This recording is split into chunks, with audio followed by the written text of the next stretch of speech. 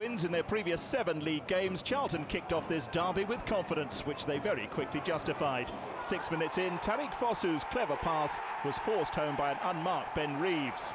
The creator of that goal remained the Addicks' most potent weapon, and he almost doubled their advantage.